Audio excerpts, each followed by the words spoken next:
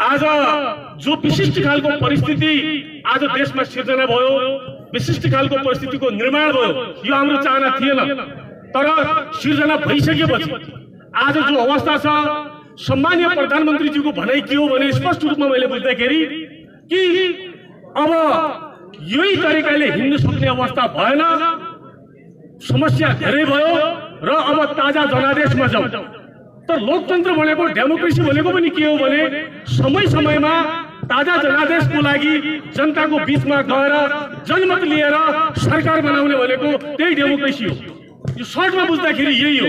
र आज हाम्रो सम्मानित प्रधानमन्त्रीजीले भनेको कुरा त्यही हो कि जनमत लिनुको लागि अब सबै जनतामा जाउँ।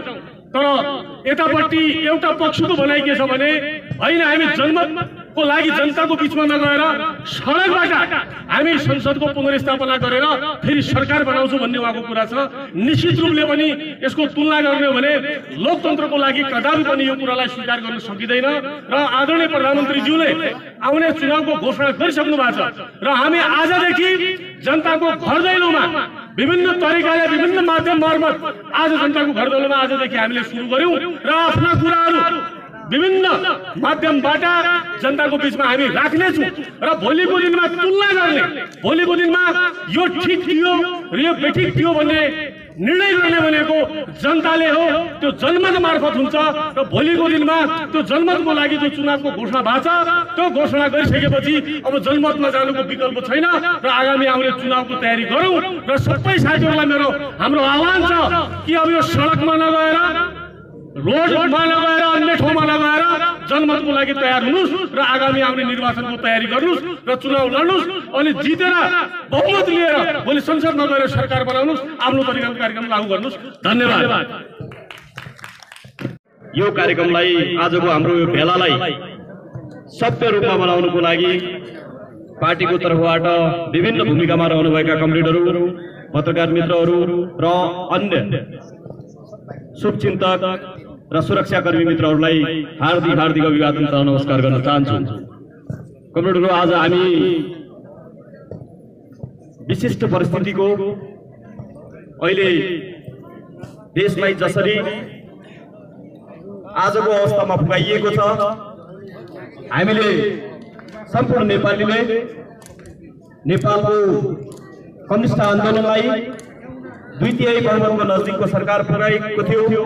र त्यसलाई जसरी हाम्रो पार्टीले हामीले द्वितीयको भोट मागेका थियौँ जनताका सामने स्थिरताको लागि भोट मागेका थियौँ आफ्नै पार्टीभित्र सत्ताको लोभ लालचमा बस्ने केही कमरेडहरूले जसरी आफ्नै पार्टीको सरकारका विरुद्ध अविश्वासको प्रस्ताव दर्ता गर्ने र राष्ट्रपतिलाई महाभियोग लगाउने जस्ता क्रियाकलापको लागि जुन काम अगाडि बढाएका थिए त्यसपछि देश द्वन्द्वको अवस्थामा र हिजोको संसदीय जसरी संसदीय अभ्यासमा तिन महिना छ महिना र नौ महिनाका सरकारहरू बन्ने तयारी गरिएको थियो यो विषम परिस्थितिमा नेपाल साँच्चीकै रणभूमि बन्ने खतराबाट जोगाउनुको लागि प्रधानमन्त्रीले जुन साहसिक कदम चाल्नु भएको छ यो साँच्चीकै लोकतन्त्रमा यसले हामीले फुट र फुटमा होइन। हामीले विभाजनमा होइन। हामीले खरिद बिक्रीमा होइन। हामीले बोठे बैठकहरूमा होइन। हामीले साँच्चै लोकतन्त्रमा जनताको विश्वासलाई जित्नु पर्दछ। जनताको अभिमतलाई लिनुलाई हचिसाउनु हुँदैन भन्ने तरिकाले जसरी संसदको विघटन गरिएको छ यो विघटनलाई अहिले केही यथास्थितिवादी सोच भएका कमरेडहरू र उनीहरूले आज के भनेका छन् भने प्रतिगमनतिर गयो भन्ने कुरा गर्दै हुनुहुन्छ। उहाँहरूले आज के कुरा उठाउँदै हुनुहुन्छ भने हामीले सरकार बनाउँदै थियौँ भन्ने कुरा उठाउँदै हुनुहुन्छ। कसैले संविधानमा संसद भङ्ग गर्ने अधिकार प्रधानमन्त्रीलाई छैन भन्ने कुरा उठाउँदै हुनुहुन्छ। तर हामी बहुदलीय प्रतिस्पर्धाको शासन व्यवस्थामा छौँ हामी लोकतान्त्रिक गणतन्त्रमा छौँ। लोकतान्त्रिक गणतन्त्रमा संसदीय अभ्यासबाट जसरी निर्वाचित प्रधानमन्त्रीले प्रधानमन्त्रीको सिफारिसमा राष्ट्रपतिले संसदलाई भङ्ग गर्न सक्ने भन्ने जो अधिकार छ। आज त्यो अधिकार कहीँ पनि संविधानमा छैन भनेर व्याख्या गर्दै हुनुहुन्छ। तर उहाँहरूले संसदीय अभ्यासमा सरकार बन्न र विघटन हुने प्रक्रिया के हुन्? त्यसका चरणहरू के के हुन्छन् भन्ने कुरा अहिले भन्न सकिरहेका छैनन्। लोकतन्त्रमा जहाँ सरकार बन्छ त्यहाँ सरकार परिवर्तन हुन्छ र सरकारले नयाँ जनादेशमा जान्छ भन्ने कुराको हेक्कासम्म राख्नु भएको छैन। उहाँहरूले अहिले के भन्नुहुन्छ भने अहिले संविधान नेपालको संविधानमा संसद भङ्ग गर्ने अधिकार छैन भनेर भन्नुहुन्छ। तर उहाँले म के मान्नुहुन्छ भने हामीले हामीले लोकतान्त्रिक पद्धतिबाट सरकार बनाउनु बनाउँछौँ भन्छन्। तर अहिले जो परिस्थिति सिर्जना भयो दुई हजार सतहत्तर साल भाद्र छब्बिस गते स्थायी कमिटीको बैठकले जसरी पार्टीलाई एक तर एक महिनाका साथ अगाडि बढ्नुपर्छ भन्ने निर्णयका साथ अगाडि बढेको थियो। तर यही बिचमा आज नेकपा फुटको सङ्घारमा पुगेको छ। त्यो तिन महिनामा त तिन महिना पहिले स्थायी कमिटी बैठकले सर्वसम्मत रूपमा प्रधानमन्त्रीलाई राष्ट्रियता जनजीविका र विकास निर्माणको काममा अग्रिम भूमिका निभाएकोमा धन्यवाद दिने पनि त्यही स्थायी कमिटीका सदस्य कमरेडहरू हुनुहुन्छ। तर अचानक तिन महिनापछि के त्यस्तो काम गरे जसले राष्ट्र राष्ट्रियता र जनजीविकामा प्रधानमन्त्रीले गलत क्रियाकलाप गरे? त्यसमा तीनजना मन्त्री र तीनजना राजदूत नियुक्ति गर्ने कुरा र संवैधानिक नियुक्तिहरूमा आफ्ना व्यक्तिहरू परेन भन्ने आधारमा आज कम्युनिस्ट पार्टीको प्रधानमन्त्रीलाई अविश्वासको प्रस्ताव सिर्जना गर्ने जो क्रियाकलाप भयो इतिहासले यो कुराको मूल्याङ्कन गर्नेछ भन्ने कुरा हामीले देखिसकेका छौँ। आदरणीय कमरेडहरू यो विषम परिस्थितिमा नेपाली जनताले आजको पन्ध्र दिन बिस दिनभित्र देखाइसकेका छन्। साँच्चै प्रतिगमन केलाई भन्छन्? संसदभित्र कोठे बैठकमा गरेर आफ्नै प्रधानमन्त्रीका विरुद्धमा हस्ताक्षर अभियान चलाउनेलाई प्रतिगमन भन्छन् कि? जनतासँग लोकमत जनमत माग्नको लागि जनताका बीचमा जाने प्रतिगमन भन्छन् यो छुट्याउने बेला आइसकेको छ। आज धनगढीदेखि पूर्वी नेपालसम्मका जिल्लाहरूमा लाखौँ लाख मान्छेहरूले लामबन्द भएर प्रधानमन्त्रीको गरेको निर्णयलाई जसरी स्वीकार गरिसकेका छन् यसले देखाउँछ कि भविष्यमा के हुँदैछ नेपालमा भन्ने कुरा पनि देखाउँछ। हिजो हाम्रो में जब संवैधानिक नियुक्तिका लागि संवैधानिक नियुक्ति र संवैधानिक परिषदको बैठक बस्दै थियो। त्यो बेला आफ्नै पार्टीबाट निर्वाचित भएका सभामुखलाई संवैधानिक परिषदको मिटिङमा नजाने जस्ता क्रियाकलापहरू बस्दै निर्देशित गरेको थियो। अब नेपाली जनता कसैले पनि कसैले पनि मूर्ख बनाउन सक्छौँ कि भन्ने कुरा नसोचे पनि हुन्छ भन्ने कुरा देखिसकेको छ।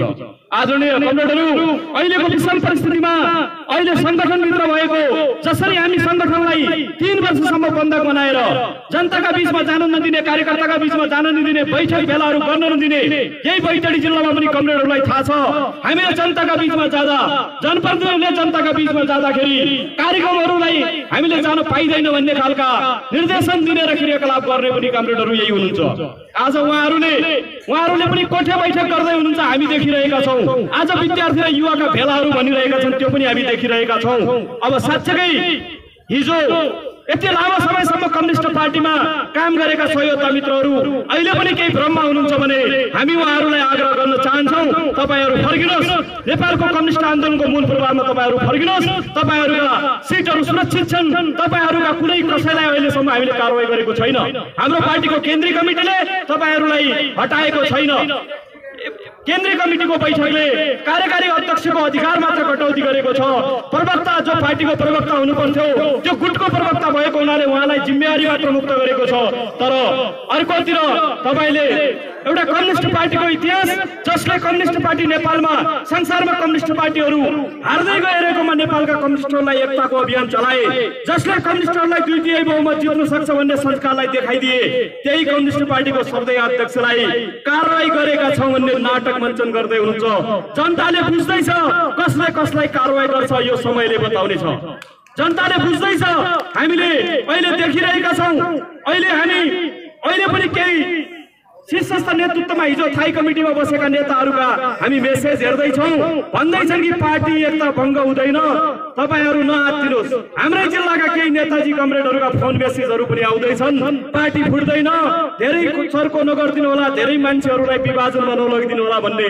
पहिले प्रधानमन्त्रीले प्रधानमन्त्रीका विरुद्धमा गाली गलौज दिएर नारा लगाउने मित्रहरू पाँच सात दिनमा हामी जब हिँडमा आउँदैछौँ। त्यो बेला अहिले त हामीले सुरुवात गरेका छौँ कामरेड। अहिले भर्खर मात्र युवा र विद्यार्थीको जिल्ला भेला मात्रै गर्दैछौँ। हामीले कार्यक्रम तोकिसकेका छौँ। अब हामी पालिका स्तरीय कार्यक्रम अगुवा कार्यकर्ता भेट गर्दैछौँ। त्यसपछि जिल्ला लेभलको कार्यकर्ता भेला।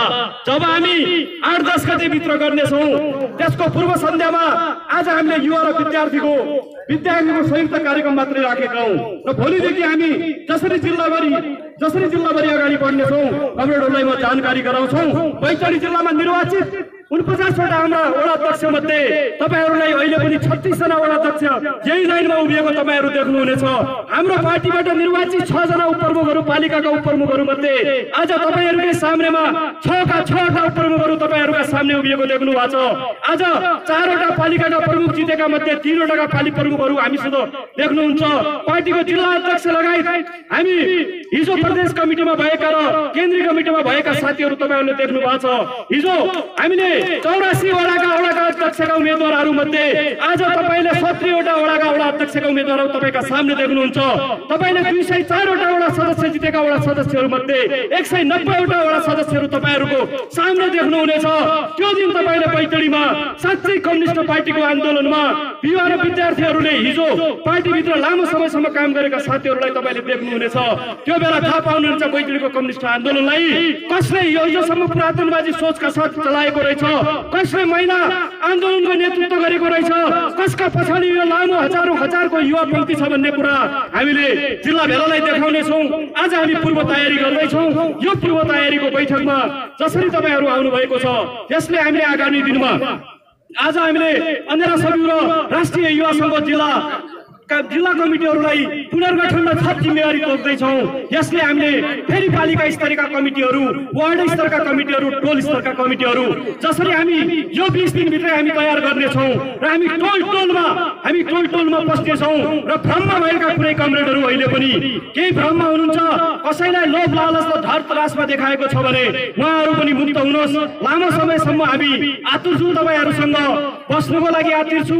केही साथीहरूलाई अस्ति भ्रमित गरेका थिए। ती मध्ये अहिले सयौँको सङ्ख्यामा भ्रमित भएका साथीहरूलाई पनि हामी आइसकेका छन्। आगामी दिनमा पनि हामीले हामीले भनेका छैनौँ हामी व्यक्ति कसै व्यक्तिका रूपमा कति व्यक्तिलाई गाली दिने एउटा सामान्य पदमा व्यक्तिका लागि एउटा जिम्मेवार मान्छेहरूले नारा जुलुस लगाएर खालको हाम्रो कुनै पनि कार्यक्रम रहेको छैन।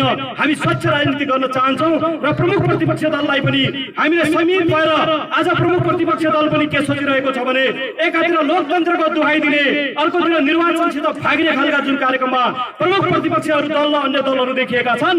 उहाँहरूलाई पनि हामी आग्रह गर्न चाहन्छौँ। तपाईँ सङ्घीय लोकतान्त्रिक गणतन्त्रमा विश्वास गर्ने राजनीतिक दल हो भने निर्वाचनबाट भाग्ने कुरा नगर्नुहोस्। निर्वाचनमा सामेल हुनुहोस्। हिजो पनि हामीले देख्यौँ केही नेताहरू यो अहिलेको निर्वाचन प्रक्रियालाई रोकिदिनु पर्यो भने निर्वाचन आयोगमा गएका हामी देख्दैछौँ। उहाँहरूलाई पनि आग्रह गर्नुहोस्। तपाईँहरूलाई धेरै आपत परेको छ। हाम्रा सिटहरू सुरक्षित हुँदैन भन्ने छ भने अझै पनि त्यसमा बसेर सल्लाह गरौँला। तपाईँहरूको बारेमा हामी सोच्न सक्छौँ। तर अहिले नै नआत्तिनुहोस् लोकतन्त्रमा विश्वास गर्ने हो भने चुनावी प्रतिस्पर्धामा विश्वास गर्नुहोस् भन्दै म आफ्नो बनाइ टुङ्ग्याउँछु र आगामी कार्यक्रम। हामी दस गतेको जो जिल्ला भेला लगभग दस गतेको बिचमा हामी जो जिल्ला भेला गर्नेछौँ त्यो जिल्ला भेलामा आजका सम्पूर्ण कमरेडहरूलाई जिम्मेवारी थोकिनेछ। त्यो जिम्मेवारीका साथ हामी बैतडी जिल्लामा कनिष्ठको किल्ला हो भन्ने प्रमाणित साथ हामी अगाडि बढ्नको लागि सम्पूर्ण कमरेडहरूलाई म हार्दिक आग्रह गर्दै आफ्ना यही टुङ्ग्याउँछु हस्त अभिवादन नमस्कार।